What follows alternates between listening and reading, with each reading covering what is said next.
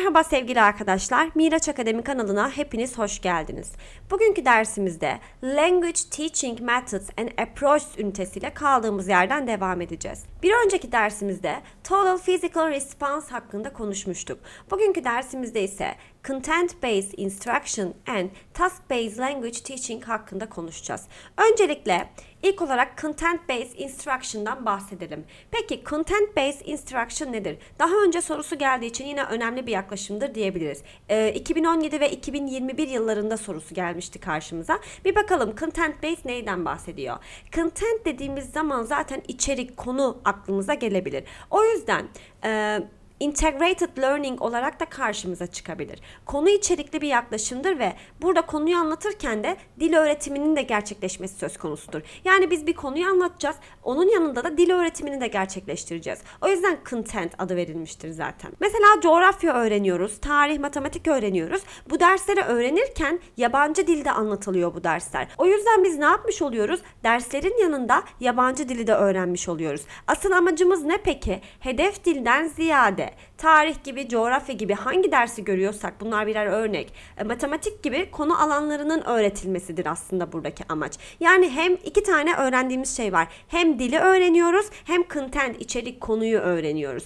Ders planları da dil odaklı olmuyor bu şekilde. Üniteler bu konu alanlarından seçiliyor. Dil odaklı olarak ilerlemiyoruz. Yani herhangi bir syllabus'ımız olmuş olmuyor. Dil odaklı olmuş olmuyor diyebiliriz. Peki amacımız neydi? Dili öğrenmek değil de dili öğrenme amacıyla kullanmaktı. Yani burada using the foreign language as a tool in learning a subject matter.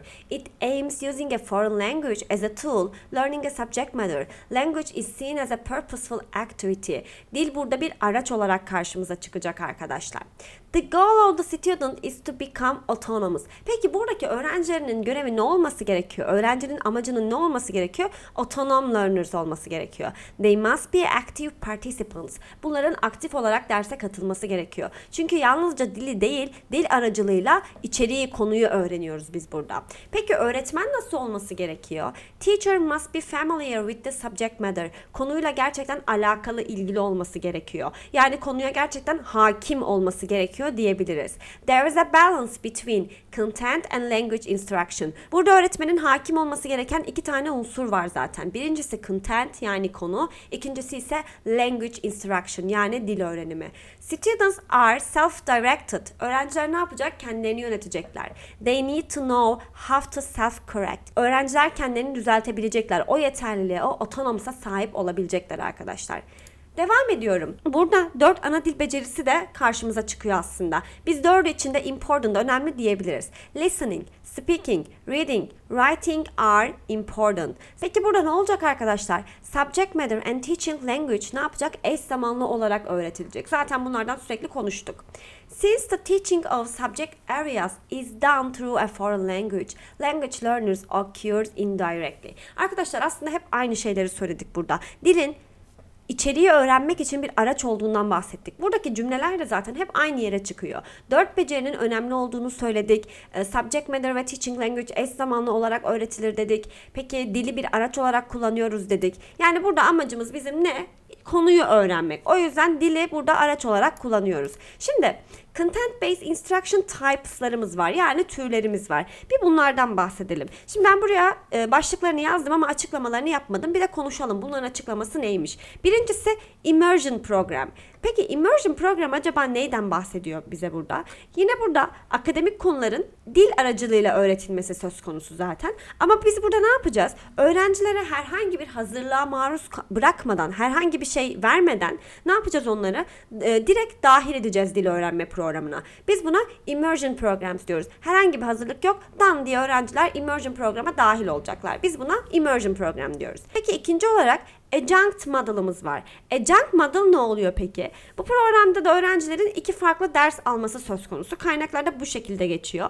Derslerin birinde ne yapıyoruz biz? akademik konuları ele alıyoruz. Diğer derslerde ise yabancı dili öğretmiş oluyoruz. Yani iki farklı ders oluyor. Mesela birinde matematik dersini görüyorsanız diğer derste de o konuyla ilgili yabancı dil terimlerini, yabancı dili öğrenmiş oluyoruz. O yüzden biz buna da adjunct model adını veriyoruz. Üçüncüsü ise sheltered model, sheltered instruction. Burada da ne yapacağız? Yabancı dil aracılığıyla derslerimizi anlatacağız.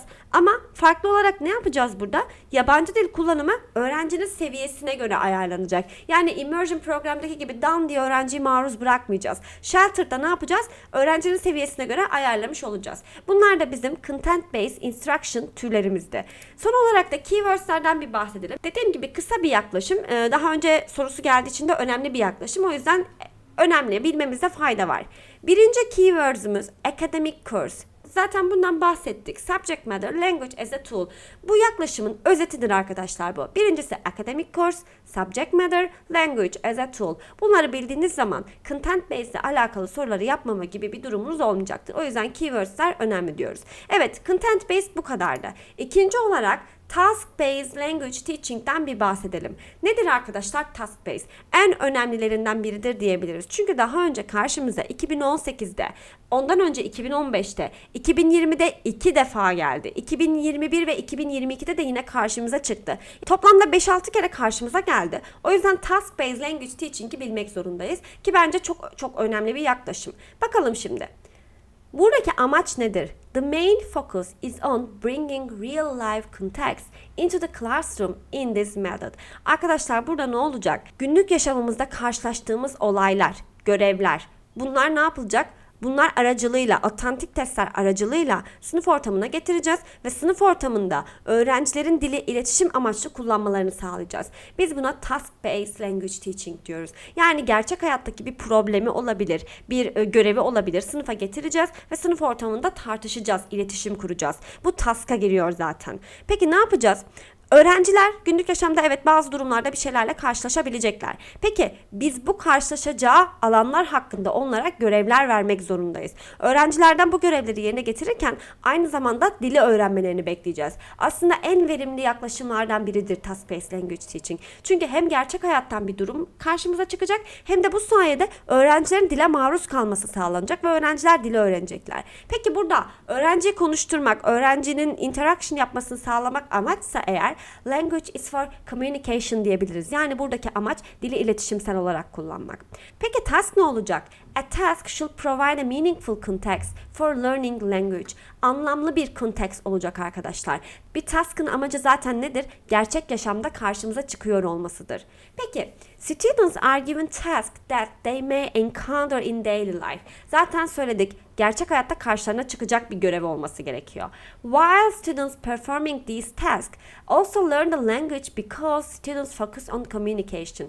Öğrenciler bu taskları yerine getirirken ne yapacaklar? Aynı zamanda dili de öğrenecekler. Çünkü buradaki amaç nedir? Communication'dır. O yüzden önemli diyebiliriz arkadaşlar. Devam ediyoruz. Peki öğrenciler bu görevleri yerine getirirken nasıl olacaklar? Cooperation halinde, işbirliği içerisinde olacaklar. İletişim kuracaklar. Sınıfta biz ne yapacağız? Hedef dili kullanacağız. Hataları ne yapacağız? İletişimin akışını bozmadan, sınıf ortamını bozmadan düzeltmeye çalışacağız.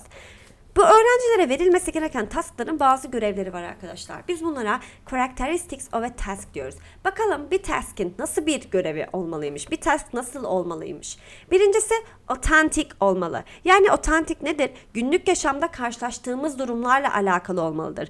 Clear olmalıdır. Nedir peki clear? Açık, anlaşılır olmalıdır. Purposeful bir amaca hizmet etmelidir. Meaningful tabii ki anlamlı olmalıdır. Product vardır. Yani görevin sonunda ya da görev esnasında ortaya sözlü ya da yazılı fark etmeksizin bir ürün çıkmalıdır. Biz zaten buna product diyoruz.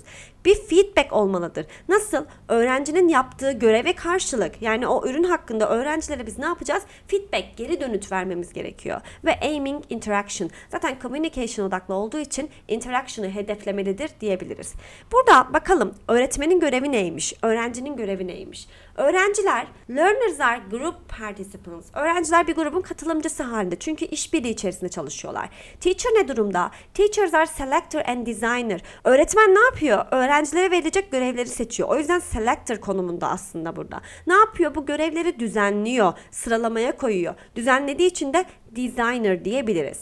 During the task, Teachers should help students notice the features of the language. Öğretmenin görevlerinden biri zaten nedir? Öğrenciler bu taskları yerine getirirken öğretmen bunlara yardımcı olmaya çalışacak. Dilin özelliklerini fark etmelerini sağlayacak. O yüzden biz öğretmen için de selector and designer diyebiliriz. Şimdi arkadaşlar keywords'lere geçmeden önce bir toparlayalım. Amacımız neydi? Günlük yaşamda karşılaştığımız bir takım görevleri e, otantik testler aracılığıyla sınıf ortamına getiriyorduk ve öğrencilerin dil iletişim amaçlı kullanmalarını sağlıyorduk. Daha sonrasında öğrencilere bazı görevler veriyorduk ve bu görevleri gerçekleştirirken bazı görevleri yerine getirirken dil öğrenmelerini sağlıyorduk. Öğretmen ne konumundaydı? Selector and designer'dı. Öğrenciler active participant'tı. Konuşmalar iletişim odaklıydı zaten. Sınıfta hedef dil kullanıyorduk. Hataları çok fazla ders ortamını bozmadan düzeltiyorduk. Öğrencilere verilecek görevlerimiz vardı. Otentik olmalıydı, problem solving, process, product, feedback, onun dışında meaningful, purposeful olmalıydı. Şimdi Keywords'lerden bir bahsedelim. Bu da zaten son olarak karşımıza çıkacak yer. Keywords'lerde authentic and meaningful test. Bunlardan defalarca bahsettik zaten. İkincisi problem solving. Üçüncüsü information gap, opinion gap and reasoning gap. Arkadaşlar şu son üç kavramı bir ele alalım isterseniz. Information gap activity nedir? Bu aktivitelerde ne olacak? Öğrencilere birinin bilip birinin bilmediği durumlar verilecek. Yani onlar bunu konuştukları zaman biri bilmiyorsa, diğeri bunu biliyorsa ve birbirlerine aktarabiliyorlarsa information gap yapmış olacaklar. Daha önce konuştuk diye hatırlıyorum bunları ve öğrenciler zaten bu verilen görevleri gerçekleştirebilmek için bilgi alışverişinde bulunmak zorunda kalacaklar. Biz buna information gap diyoruz. Opinion gap'te ne karşımıza çıkıyor peki? Bu görevleri tamamlamak için öğrencilerin kişisel tercihlerini bilmemiz gerekecek. Kendi fikirlerini ortaya koymaları gerekecek ya da duygu ve düşüncelerini açıklamak zorunda kalacaklar. Mesela ne olabilir? Opinion, feelings zaten bunlar opinion gap aktiviteler içerisine giriyor. O yüzden biz bunu opinion gap activity olarak karşımıza çıkaracağız. Üçüncüsü reasoning gap activity. Peki burada ne karşımıza çıkacak arkadaşlar? Öğrenciler görevi tamamlamaya çalışacaklar ve biz de bunlara yardımcı olacağız aslında. Görev bitirmeleri için yardımda bulunacağız.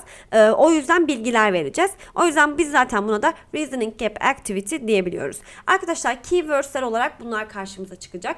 Ee, task based dediğim gibi çok çok çok önemli bir yaklaşımdır. Daha önce 6 kez karşımıza gelmiştir. O yüzden bilmemizde fayda var. Bugünlük dersimiz bu kadardı arkadaşlar. Content based instruction ve task based language teaching hakkında konuştuk. Videoyu beğendiyseniz, işinize yaradıysa abone olup beğenmeyi unutmayın lütfen. Bir sonraki videoda görüşmek üzere. Hepinize iyi çalışmalar diliyorum.